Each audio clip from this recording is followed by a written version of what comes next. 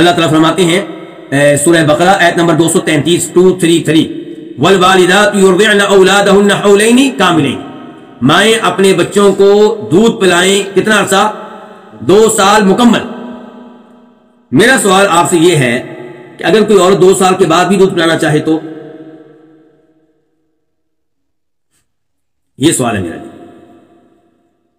اور یہ سوال میں اس لیے کر رہا ہوں کہ میں نے دیکھا ہے کہ لوگوں میں اس معاملے میں غلط فہمی پائی جاتی ہے ہمارے لوگ یہ سمجھتے ہیں کہ شاید دو سال کے بعد دودھ پلائیں گے تو غلط ہو جائے گا، شاید کوئی گناہ ہو جائے گا۔ کیوں بھائی؟ کیسے گناہ ہو گیا؟ کس نے اس کو حرام کر دیا؟ کہاں پہ آیا کہ وہ حرام ہو گیا بچے کے لیے؟ صرف یہ بتایا گیا آپ کو کہ شرعی طور پہ دودھ پلانے کی جو مدت ہے وہ دو سال ہے۔ اس کے بعد شرعی مدت نہیں ہے، اس کے بعد بچہ جیسے باقی چیزیں کھاتا ہے، یہ بھی، باقی چیزیں پیتا ہے، یہ بھی پی سکتا ہے۔ یہ دودھ حرام تو نہیں نا؟ پی سکتا ہے۔ کوئی مسئلہ نہیں ہے اس میں۔ میں نے یہاں پہ ایک چھوٹا سا جملہ نقل کیا ہے امام ابن تیمیہ رحمہ اللہ کا۔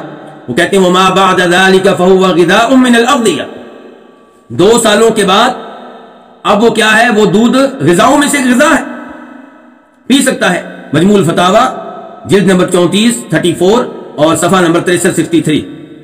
اور ایسی گفتگو آپ کو ملے گی امام القیم رحمہ اللہ کے ہاں بھی توفت المودود میں۔ تو کہنے کا مطلب یہ ہے کہ اگر ماں چاہے تو بچے کو اس کے بعد بھی دودھ پلا سکتی ہے۔